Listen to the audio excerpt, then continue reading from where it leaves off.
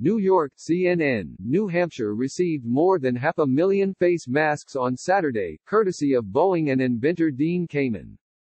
Boeing 737-700 aircraft flew nearly 540,000 medical-grade face masks from China to Manchester Boston Regional Airport, as part of a deal coordinated by Kamen, who brought 91,000 pounds of personal protective equipment to the state last weekend.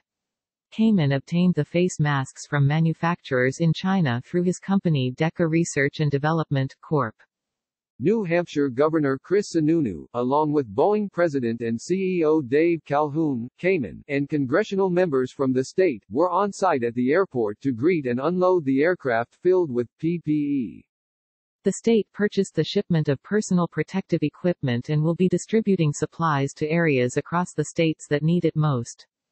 Sponsor content by BP How the UK cut its emissions and became a global leader The UK has become a global leader in the transition to lower emissions through switching to more sustainable energy sources. There will be no costs for recipients, and Boeing is covering the cost of transporting the equipment from China. The trip also marks Boeing's first COVID-19 response mission using a company-owned corporate 737-700, the company said. The supply distribution is a part of New Hampshire's ongoing efforts to respond to the coronavirus pandemic. Another life-saving delivery of PPE has arrived in New Hampshire, said Sununu. The state will deliver these masks to the greatest areas of need across New Hampshire so those on the front line have the necessary resources to fight COVID-19.